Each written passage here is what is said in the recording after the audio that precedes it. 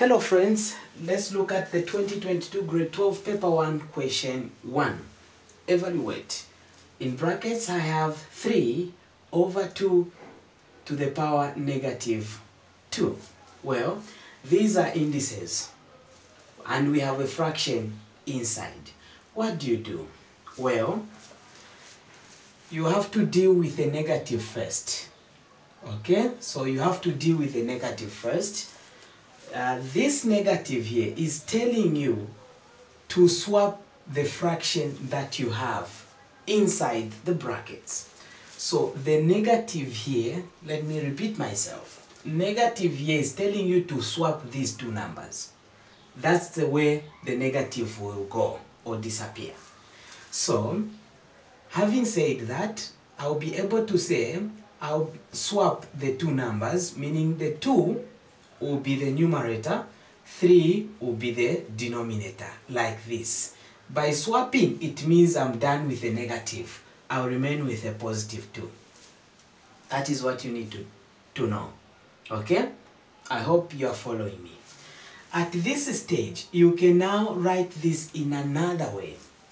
2 over 3 raised to the power 2.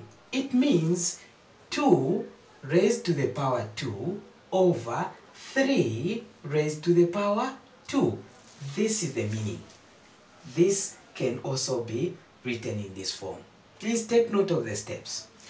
Then, this stage now, it is easy.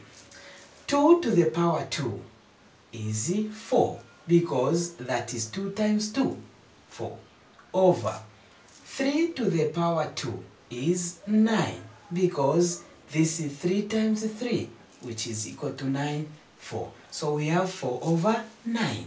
This is your final answer to this question.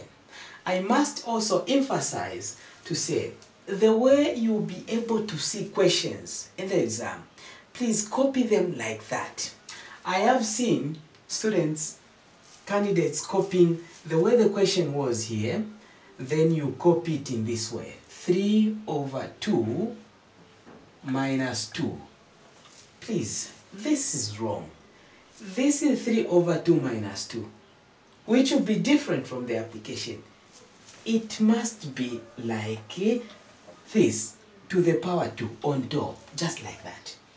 Thank you for watching, ladies and gentlemen. Remember to follow, subscribe to my YouTube channel as well. Thank you.